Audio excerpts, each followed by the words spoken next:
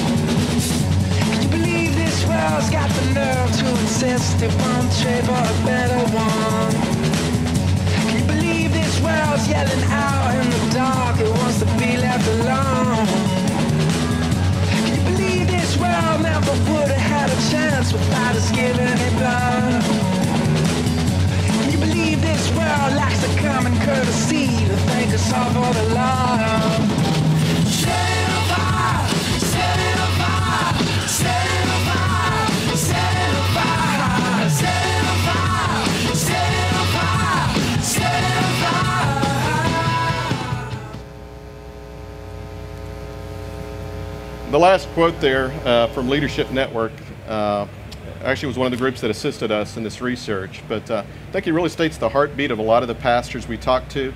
This struggle with what, how mission relates to building, uh, and understanding exactly again uh, what the church needs to be. And I wanted to spend a few minutes talking to Toby here. some of the same questions we asked him in our initial interviews, additional thoughts he may have had since then, but but Toby, I remember one of the first questions I asked uh, again, what what is it that you see coming uh, in the next few years, the next 10 years, relative to trends in the church, and, and how does the church need to respond to be relevant to those? Uh, well, I think one of the things, without really over clichéing it, is I think the church is moving from, especially to reach the next generation, it's moving from, from like an institutional mindset to more of a movement mindset.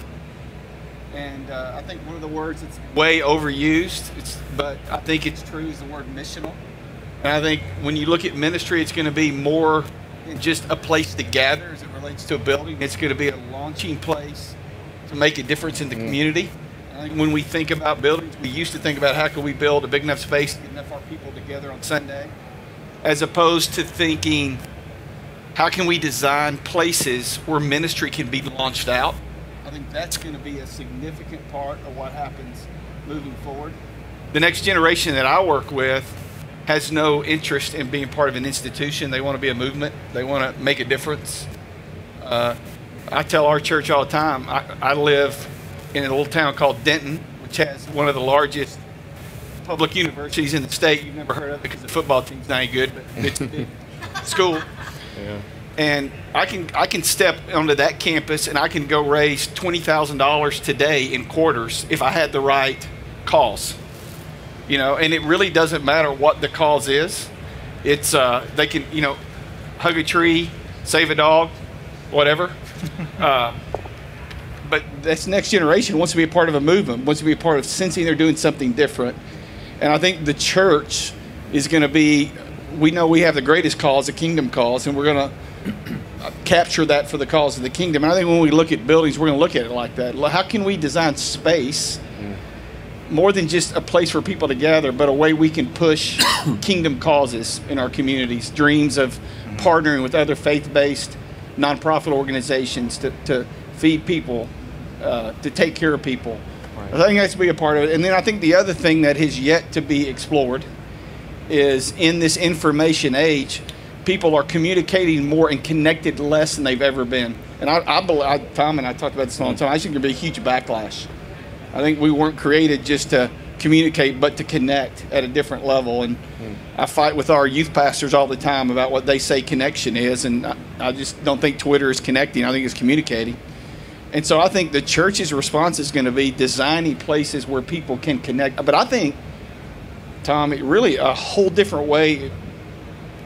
I don't know. I hesitate to use this word, but a whole different way of the business of church, of what it's been in the past. It's just, mm. I think it's going to look a lot different. I think we're going to accomplish more. The kingdom's going to advance more, but it's not going to be what I grew up in. Hmm. That's what I think. Yeah. Give us a, a, flavor of what you think some of the, the kind of the common activities or functions of the church are changing too. And an example I'm thinking of is uh, how you teach learning or what, how you think about learning in a church environment versus just sitting in a Sunday school class and how that's going to impact the way we do church. Well, I hope a part of it is that we we learn that we grow by doing, not just by sitting. Craig has a lot of opinion on this. We've talked about it before.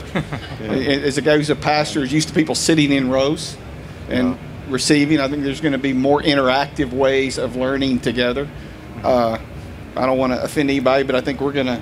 I think we're going to redefine sacred space and yeah, what sacred space is and what that means. And I think there's been a, a I'm all for sacred space. I'm just not sure I agree with what everybody's definition of sacred space is, and uh, yeah, yeah. kind of redefining what it means to be a follower of Christ, and and the church being the place where people get to practice that, not just hear about it, and then go back out and live their lives. And I think we're gonna have to think about it. I think we're gonna think hard about it in the years to come. Yeah, we're gonna come back to the sacred space question.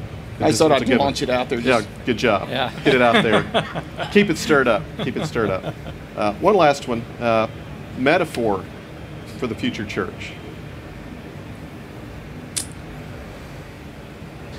Epicenter of the community. I, I really do. I think it's going to be this. I think the heart of the church is going to be a place, and I think this this is kind of nothing new under the sun yeah. I mean, back the, the stories my great grandparents told me was about the church was the place, the first place you went for all kinds of things. Right. And I think that's what's going to happen in the church instead of allowing, it's going to be the central epicenter place where kingdom life it flows out, as opposed to simply a place to meet. I, I know that's oversimplifying it, but I, yeah. I think it's going to be a bigger deal than that. Mm. Very good. We've got a church for you, by the way, coming up. Yeah, all right. I'll show you a building. okay. Let's get into the architecture then, and, and, and really from conversations like this, just some uh, amazing, rich conversations with a lot of leaders around the country. Uh, we tried to distill what are, what are some of the common elements that are showing up there, as well as what are some of the things out on the edge. What are the fringe things that, that we're hearing that maybe we discard because they don't fit in our uh, in our neat uh, box. Uh, but from that, Michael and I are going to share a few of the ideas that begin to, to boil up as important to express and whatever that future de- church design was. Right. Yeah. Yeah. One of the first things we debated was is the building the church, and we kept coming back to you know the building isn't the church. It's no longer the church. So, really, the church is software, and the building is hardware. So you think about hardware. Well, hardware the Apple II, right? that was hardware. Apple moved way beyond that. The software's moved way beyond that. Uh, we're now to devices, you know, that we can't even figure out. This is the uh, iPad 10, by the way, guys. We're giving you a sneak peek. Yeah, don't tell anybody you've seen it here. Yeah, anyway. Yeah. But, But, uh, hardware needs to be updated constantly to keep up with the software. The spaces then that we, we, we heard that did have some common uh, resonance, I think, were that of uh, spaces for celebration, still certainly, as a heartbeat of the church, worship areas, space for connection, and Toby already alluded to that. Right. Uh, and connection not just at a, at a Sunday school level, a one way communication, but how technology and other things that are going to afford a different kind of connection that people can, can get. Again, outsiders coming into the church as well as those within the church. Right. And then the idea of community as well. And really, again, some of those the spaces then or buildings uh, relative to that are big buildings that are would have these kind of three qualities. And the ideas we're going to show you later, all of them represent some aspect of these. And I hope you pick that up through all of them Yeah. the idea of, of, of a communal building, again, that, that fosters community. But community more than just as we think of it now in a lot of respects with church buildings, not just a coffee shop or a bookstore or a gymnatorium or a sanctinasium. Uh, it, it's something that, that really engages the community. Sanctinasium. Sanctinasium. It's a technical term. Cafe sorry. Gymnatorium Sanctinasium. Take You a zoom time. guys Yeah. haven't heard of this term? It's an architect's term. we didn't make up this term, term. did we, guys? Yeah. but the idea, again, that a building uh, uh, is, is, again, as Toby, Toby, Toby alluded to, maybe it's a launching pad. Uh, another pastor referred to it as an aircraft carrier. Yeah. That's what we're here, preparing to launch people for ministry. right. Um, the idea that it's sustainable, and certainly that's a term that's a buzzword in the architectural industry relative to green building ideas, and that, that's part of it. But also that's something that's viable, that even could be a model to the community of so, a new idea of, of, of self-supporting, Yeah. More stewardship. than renewable energy. So Yeah.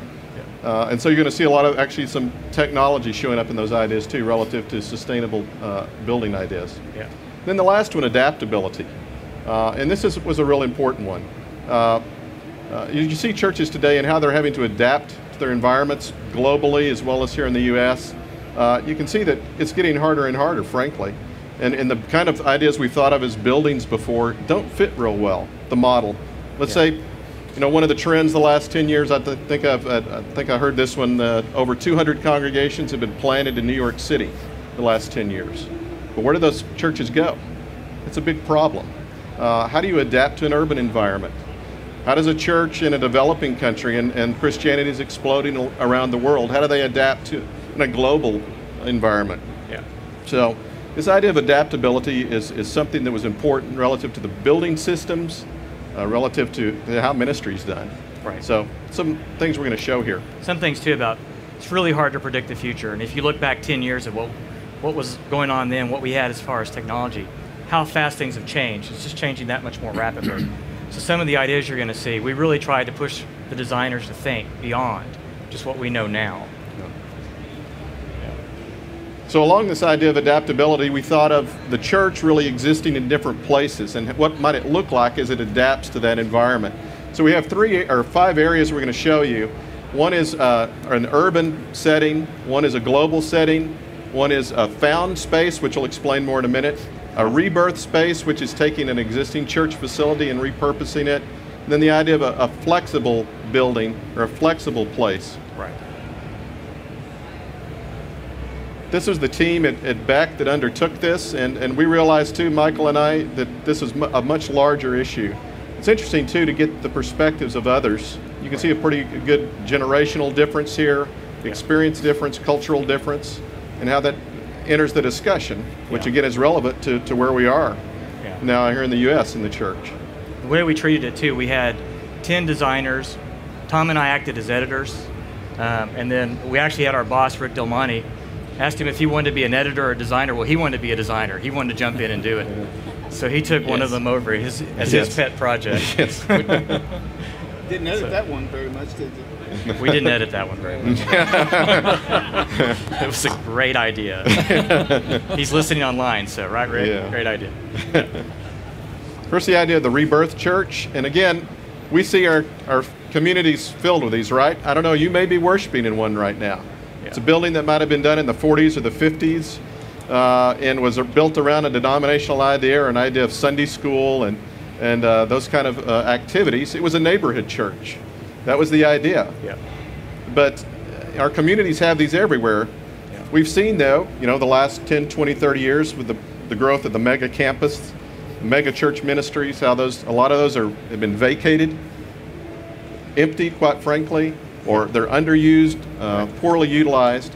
Uh, and for churches now that seem to have uh, a, passion to be back in communities and developing that, we thought, what a great, again, launching pad Right. to be right back in the community. But how do you use these buildings designed around 1950s ideas for 2022 ministry? Right. If you look at the image too on the screen, this is nine different churches within a one mile radius in Oak Cliff down here in South Dallas. The designer that took this one over, it was his passion because he lives there. He passes by these churches every day on his way to work. And so he felt really passionate about it. And Oak Cliff's one of those communities, it's very active. It's about rebuilding itself, if you guys know it. And there are a lot of these communities around the country. So it's one of those things that, that's going on all over. So this is one of the typical buildings. We just we took one. It was one that we're working on actually as another project, so we had access to it.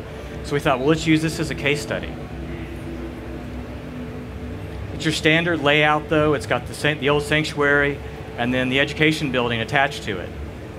So we thought, well, how can we transform that? You know, those buildings, they're very kind of closed in. They're not very open. The front doors face the main street. They don't face back into the church building itself. There's really not any kind of community space or atrium space or connection space. So how can we transform that? So the first thing we did when we looked at the buildings is to create the celebration space and try to transform that, turn it on itself. Then we created some connection space. We talked about that connection space being able to be for, for learning and for reaching out for that connection that we're talking about. You know, most of those buildings have very narrow corridors, so blow all that stuff out, make it a bigger thing. And then the community building, we talked about that really being the place that really starts to reach out to the to the neighborhood, to the community. It's the place where you could do, you could set up micro businesses in there. You could do job training. You could you could feed the hungry out of that. There's all kinds of things you could do. And then we talked about also how you could use the space around that building. You know, a lot of these have green space, but they're not really utilized green space, and they have parking lots. Well, since we're going to be able to stack cars together in 10 years, we won't have a problem with that. So we can take that over. So the idea of being able to plant community gardens and then use the community plaza, and really, like you're saying, Toby, it, it brings it back. It makes it the epicenter of the community. Something pretty exciting. So we'll just show you, this is a picture of the view, and then this is what our designers did to it. They popped it open. They, they created clerestory light in the room itself. They expanded the room. They took out the side aisles, and they added uh, walkways around the outside. And then you can see what the community space could be like. It could be all kinds of activities. Then you also have the ability then to have farmers markets, and, and local people bring produce. And that could be the place again. It's used for other purposes. It's not used just for worship. Then again, like we said, the community garden out back. And so then when we looked at the worship room, again, it had a fixed choir, uh, baptistry down the center. That you can really start to transform that as well. Like we said, we can pop it up. This case, this building had trusses. We could expose those trusses, let in a lot of natural light. Get it to go to the next slide. And completely transform that room. It doesn't have to have a fixed stage. In this case, we're doing it more in the round style. And the technology also, you'll see there's not very much technology in there. Well, technology is shrinking. It's there, you just can't see it. Well, that's before they asked my input, by the way, just in case. it's invisible. Yes, this is the constant yeah. tension. But we sure we sure will get more efficient. Yeah, as architects technology. push on these guys. That's yeah. what you were telling us the other day. Yeah, two, two pound screens is what Tom said. Two pound screens. Two pounds. Right, exactly. The other thing we find is interesting is that you know this whole notion of two screens has kind of become the, the standard, but really you can project on any service in the room, and once you can do that with digital mapping, you can really make the space anything you want it to be. In this case, it becomes a forest. So you can have your service in the forest. The other no, thing no more skipping Sunday to yeah. go to the. One of the things that's interesting to note is the uh, the tendency to move towards creating spaces that surround rather than present. A yeah. movement away from a culture that's is, is a didactic message of presentational us here to you, but right. there everything's in the around. and Yeah. that's a, a, a strong trend. Interesting too that a lot of our schemes came back to being in the round. So we'll get into that in a minute too. Global church again. The idea that you could have a church that uh, could go in any environment, really, in areas that are under resourced, no infrastructure. Um, might be a situation too where you've got an American congregation that's partnering with a local church. So how do you get materials to them that, that can be utilized, you know, in an effective way versus the old idea, which is if you've been on those mission trips to build buildings around the world, very labor intensive again, but we're building old style of buildings. Right. The designers uh, for this one, they started playing with the idea of shipping containers, and we said, well, go a little further than that. We've all done shipping container projects if you're architects. So we talked about what are materials that could be of use to us in the future here for this kind of thing. How could you create a material that could become structure, but it also is the package? So you could literally ship it around the world, piece it together there, and make something of it. We talked about mold injected fiber reinforced plastic. There's no shortened term for that, so I'm only going to say it once. but it's a really cool material. The fact is, you can put pieces together, you can glue it together, and it's as strong as steel. So once you get it out on site, you can make anything of it. The other thing, too, is it's hollow, so it can hold water. And water scarcity is a huge issue. And so if we can use this building to not only support a structure, but to filter water and to provide water for people there, and also provide electricity by attaching photovoltaic panels to it, it does a lot more things than just being a building. That's one of the things we're really excited about. This is a diagram of one of the photovoltaic panels in the structure. You can see too, the structure is what it is, but you can infill it with thatch, you can infill it with whatever local material is available. So it's pretty exciting what you can do with it. So this is a diagram showing it. The packages are dropped on site. They begin to be assembled. The water wall is assembled. The structure for the enclosure is, is put up. And then it begins to be able to be adapted to many uses. This is just a shot of it in a, in a site somewhere in the world. You can see the photovoltaic panels, the view into it. And then again, like we said, it offers those kind of community services. It becomes the center of the community there, whether it be medical needs, dental needs, it could be di- disaster relief. A lot of really cool things that you could do with this. This is a view of the water wall, and as you would walk into the project, And they had to do an animation of some sort there. yeah, we had to animate it, of course. The celebration room, the worship room, we left that open air. One of the things, Tom, you, you mentioned this. Interesting story your friend told you. Oh, well, just relative to the, the debate in Africa many times isn't, I guess, so much about the style of building as should we have a building? Should we have a roof?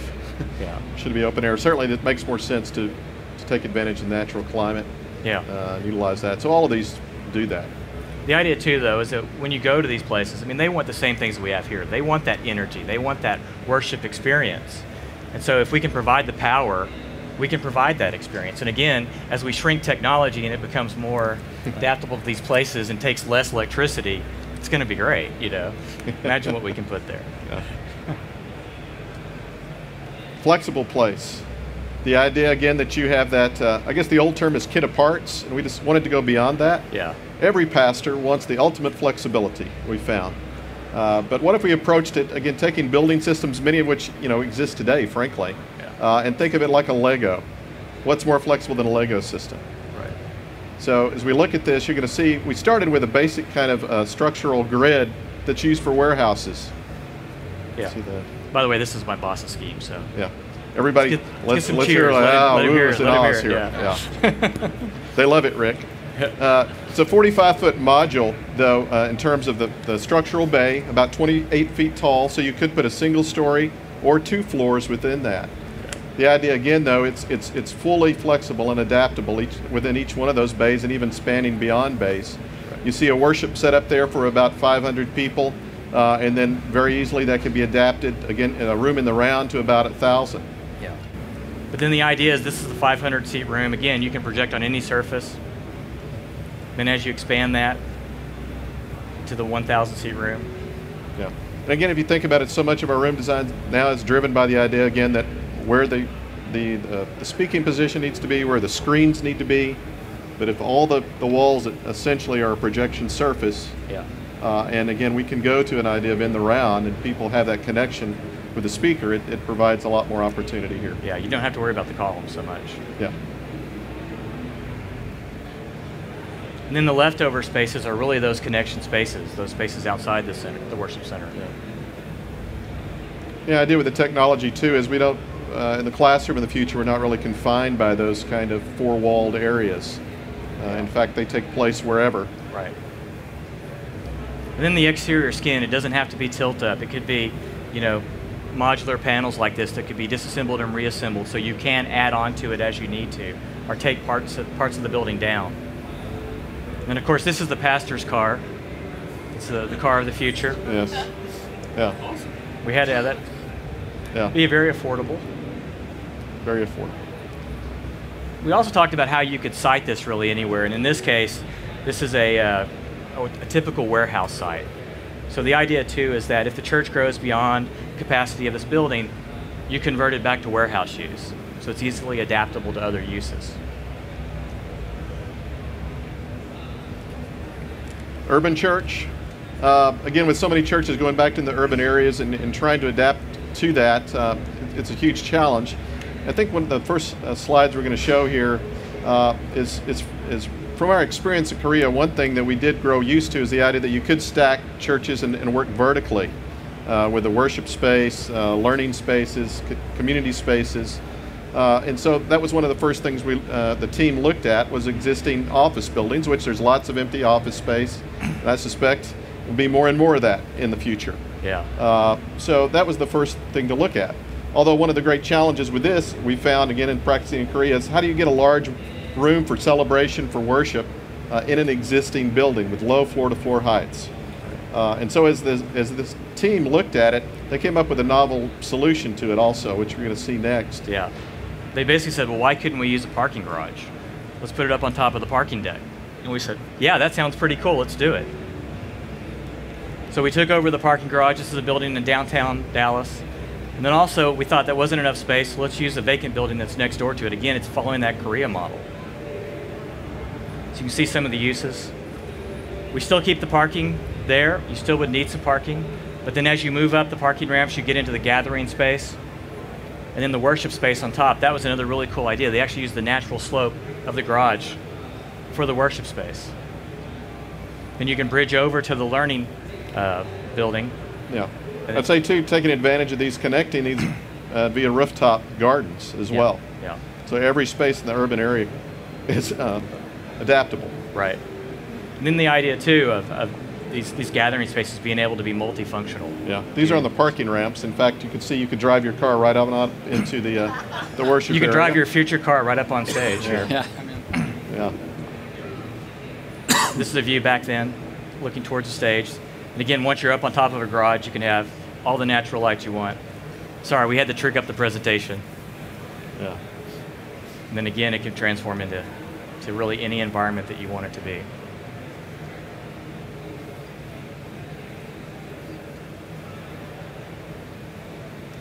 But it does really become that beacon, you know, to downtown. And again, like we talked about the epicenter, it can be the epicenter of downtown, of a revitalized downtown. The last one is the found place. This is around the idea, if you can imagine a, uh, the modern version of the Old Testament tabernacle, people of God really moving wherever He is.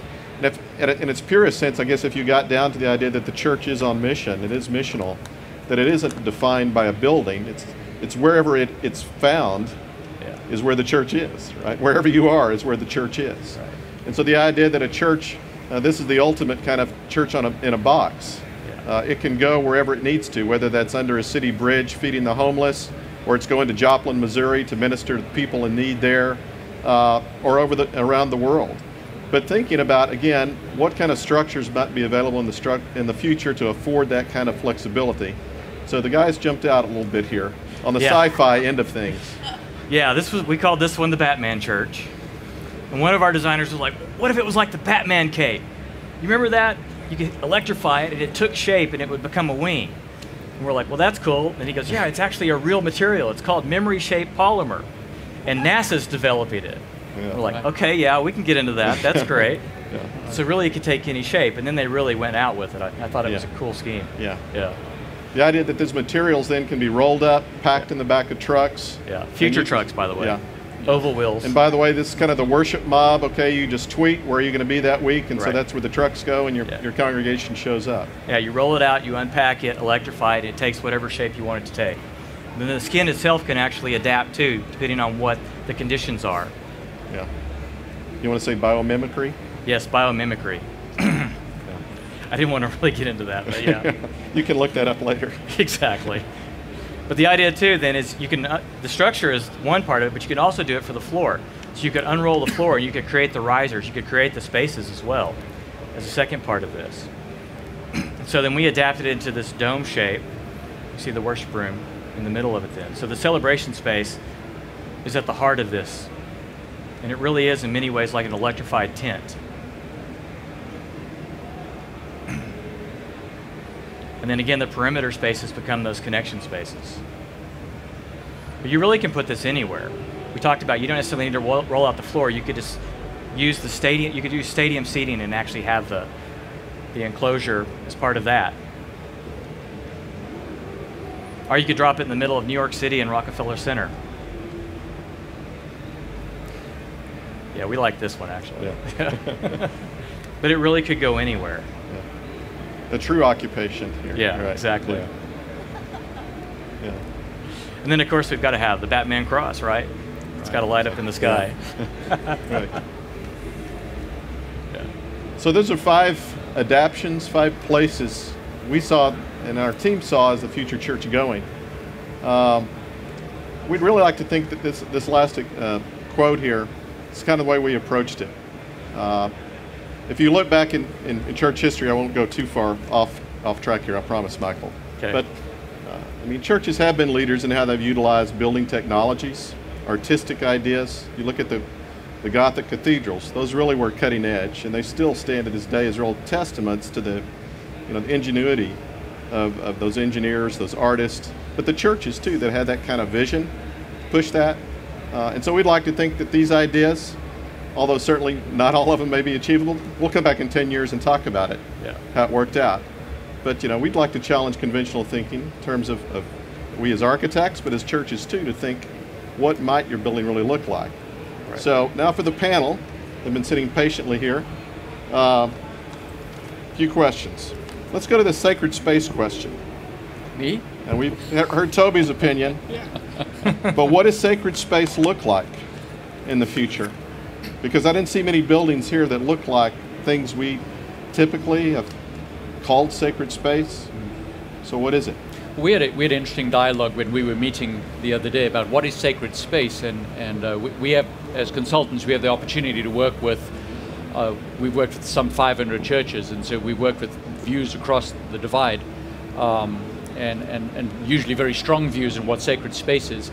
And I think one of the things that we're, we're grappling with the tension as we look to the future is how do you balance uh, the sense of mission, which is fighting against the sense of spending a great deal of money?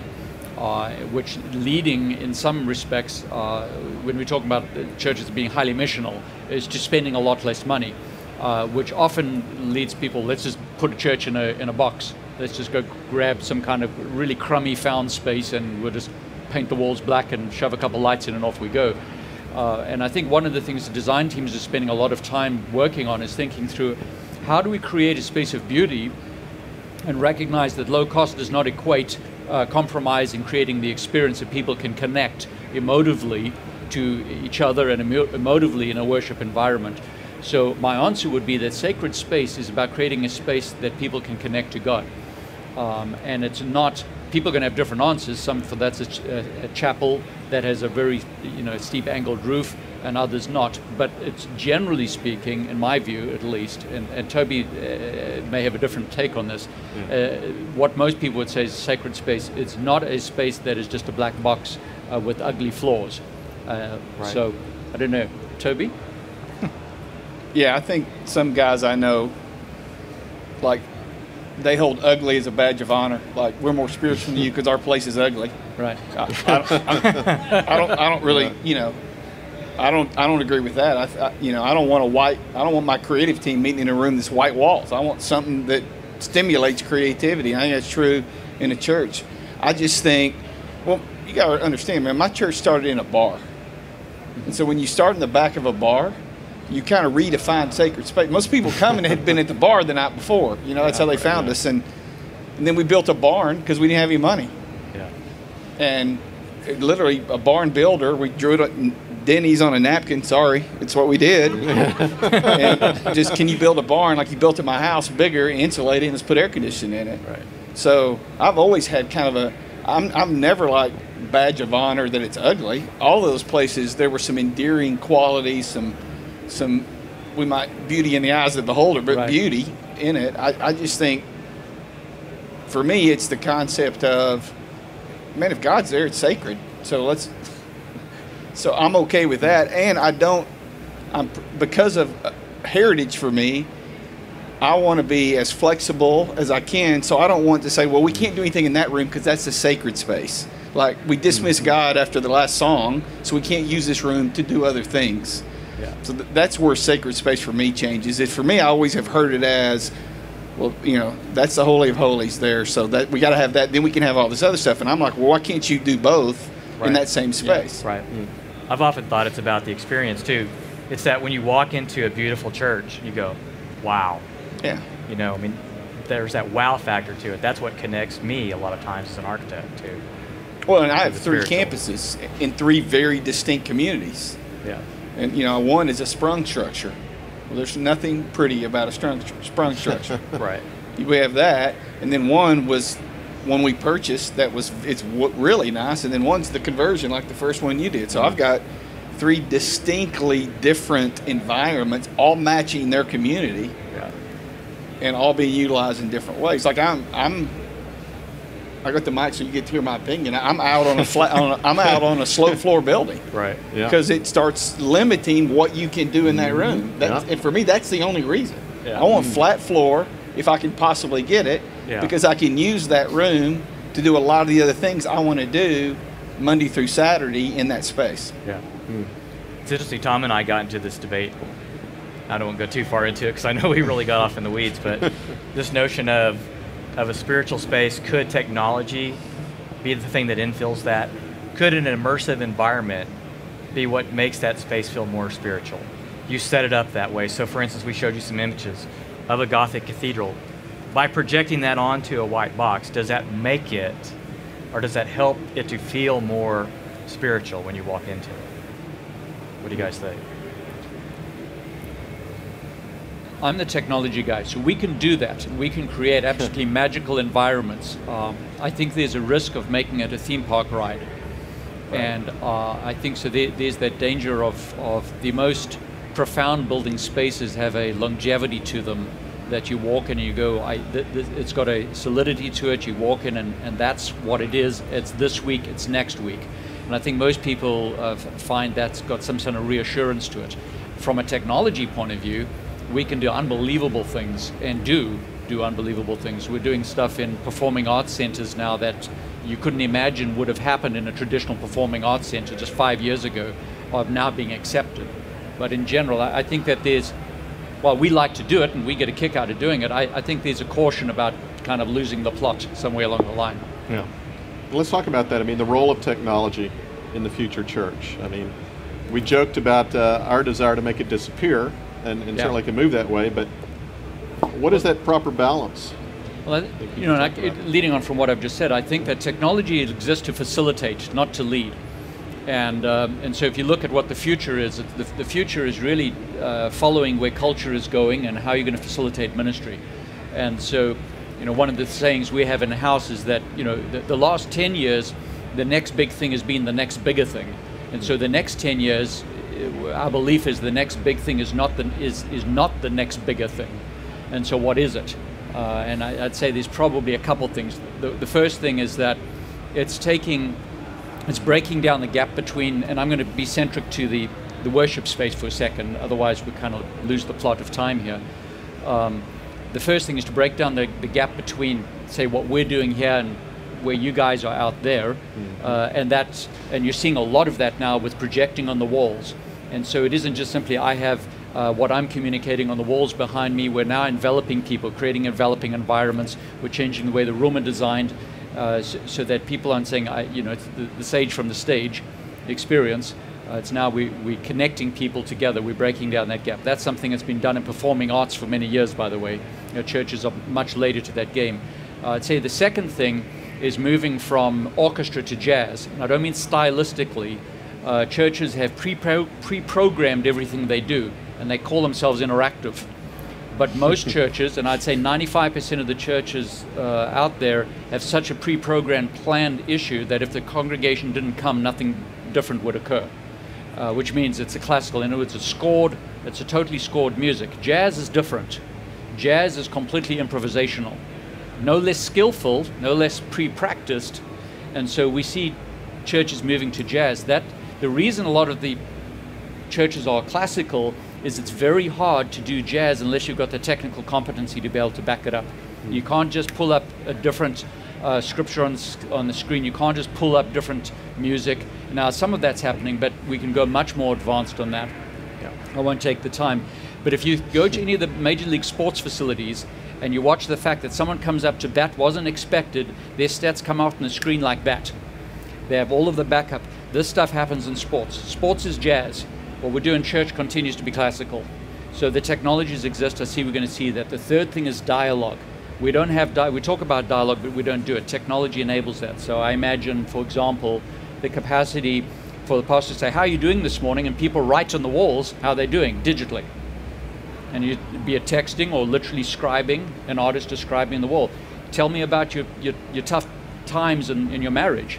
And in other words, testimonies happening digitally on the wall so there's an engagement and a participation. That's doable right now. We don't have to wait for the mm-hmm. future. Culturally, we're not ready for that.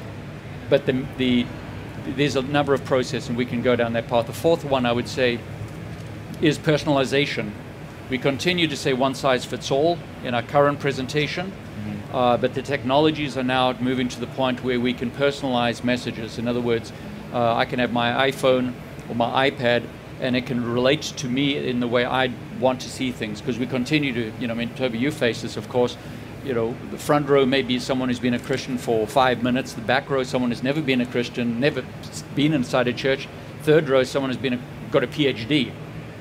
Uh, there's no reason not to personalize their position on this device by what they're receiving while you're speaking with a broad range of competencies and that might be a projection of, uh, of data of literally Greek translation, uh, Wikipedia information, uh, pushing scripture. Some of this, by the way, I got because I'm going to do a shout out to him. Is Jared Chambers from uh, Preston Trail gave me a couple ideas this last week on some of these things, but. Um, there's a lot of stuff we can do with technologies mm. that allow this engagement to personalize. I think the personalization thing, by the way, is a big deal. Mm. So yeah. I'll stop there, and we could go on, and well, would go good. on. Good stuff. Let me jump in with one more question, then we're going to throw it, I think, out to the audience for some Q&A, I believe, here, because we're running up against time. But uh, uh, looking at the ideas out there, and I'm going to go out on a limb here a little bit, Michael, expose Michael and I, but are assumption, any of the assumptions you see in the designs that didn't make sense to you in terms of what you really see in the church? Or did we hit a home run here relative to these designs? Come on, slam us. Yeah. we, we got together this last week and we kind of, you know, our own hug kumbaya moment about how clever we all were. And one of our team members was with us, with us and we, we went in the car afterwards. I said, Steve, what do you think? I don't know if Steve's standing here. I don't know if he's here. In any event, yeah. and he said, well, the only concern I would have is is this portable to other cultural settings, mm. um, the way you're thinking about some of these things. And I'm, I'm not sure yet. I'm not completely sure. Mm uh, I need to think I need to think that through uh, a bit. Hmm. Yeah. Um, some of the architecture is, but I think some of the thinking of how to relate um, uh, is, is, is a challenge. And for example, the the um, uh, micro business context for I come from Africa. Uh, and that, that would be that's not consistent with how that might work in a, in a church there. So I'm, I'm still thinking that through. Okay, Toby. Well, I, we're a multi-site church, so I'm always thinking in terms of multi-site, and I think going sound like a broken record, but what I'm looking for in that is multi-use out of your largest spaces you've invested your most money into. That that's for me the, the big deal is can I can I build smaller square footage and get more utilization because we're. I mean, I get the separation, but I want to see how we can marry those two together. How can this space be this space when we gather to celebrate, but it can be this space when we do this and this and this. And I think I think that's what we're going to have to think through. Okay. Michael, anything you look at now and go, I wish we would have thought of this? No, it's all great. it is. It's awesome stuff. Yeah, it's cool. Yeah, yeah. I don't know if anyone realized. uh, There's a whole bunch of. The, I think there's a blog page that's, that the guys are putting together. There's a bunch of stuff we've seen that I, I'm just in awe at how much work was went into because I didn't do it Yeah. uh, to pull this off. It's just a fantastic amount of work. Well, I'll go ahead and put in the plug here. I mean, there are cards, pick up here. There's a, a blog. We, because there was so much content that the teams came up with, there was just no way we knew we could plow through it in this kind of a session. So, and, and we would like to definitely keep the conversation going relative to thoughts of others. So that blog will give you that opportunity. Don't have a mic or anything to go around, so just have to speak up. Yeah, this won't go. That Yeah, won't we- reach far. We can repeat your question. Yeah. Yes, sir. Yeah. Uh-huh. do you try to maintain an identity or the three sites you talked about, are they totally different from each other? Where I know, hey, that's this site, how do you keep it together? That that is a great question, and that is the question, by the way. Uh, uh, his question is about multi-site, and if you're three different sites in three different places, are they are they all different? Is there a, is there a central theme to it? The word we use is DNA, the DNA of our church. It plays out different in all three places. I've got one church in a very affluent area. I've got one church that that is in kind of the suburbs, country, you know, ride a, ride a horse, kick a cow kind of deal.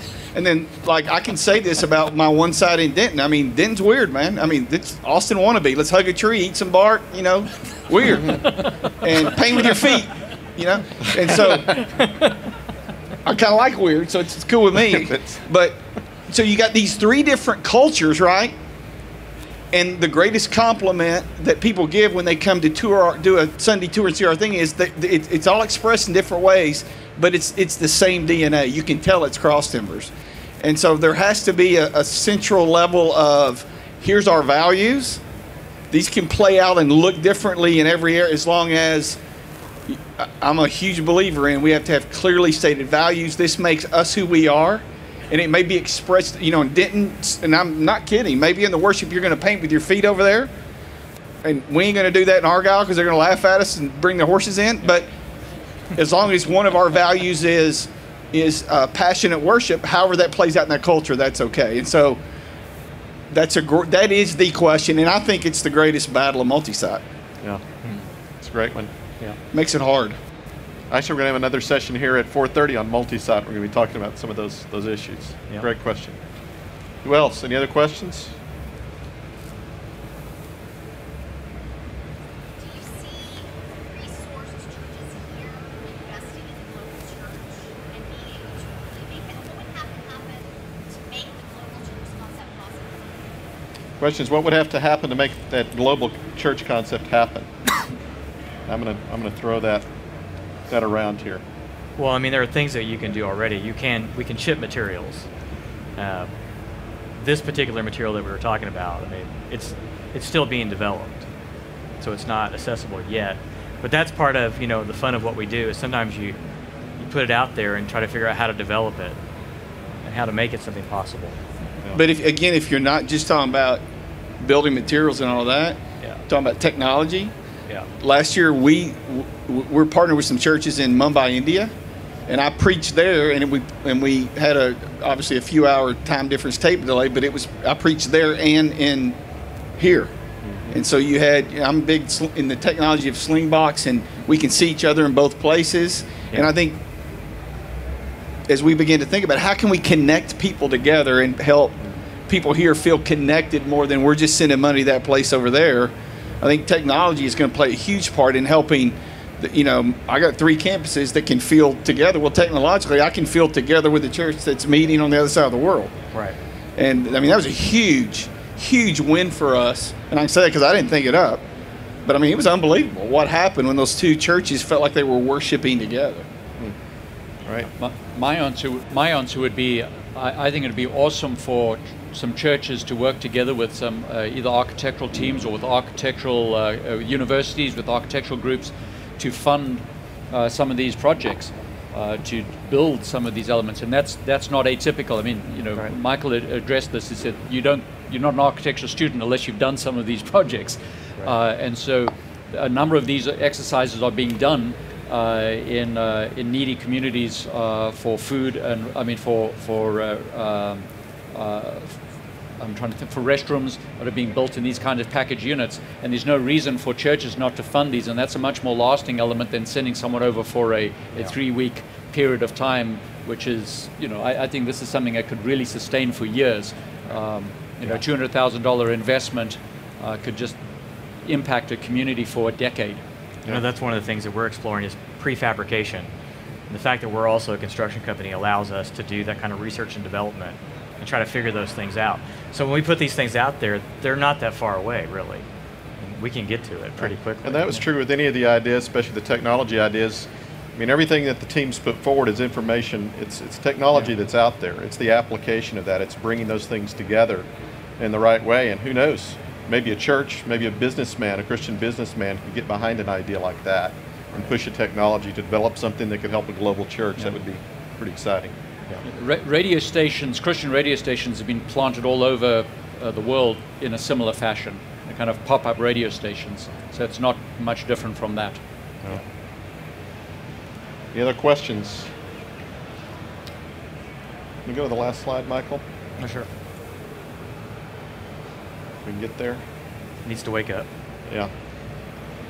Again, we want to thank you for attending, and uh, we've got cards down front that will have the uh, the web address where we have the uh, blog uh, for the future church. Uh, we'd love you to participate in the conversation. Talk to us afterward. We're going to be around. Have a great time at WFX and go out and make the future. Right? All right. Thank y'all. Thank Thank you. you.